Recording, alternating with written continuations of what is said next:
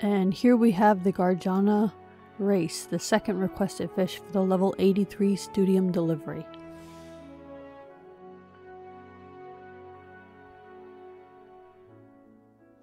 Hello, Torrec here to guide you through the Fisher quest for the Endwalker expansion.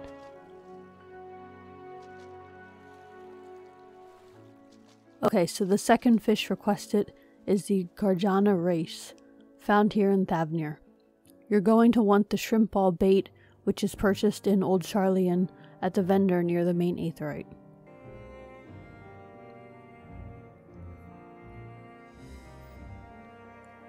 You're going to need to use patience again, and it's a medium tug, which is two exclamation marks, and powerful hook set.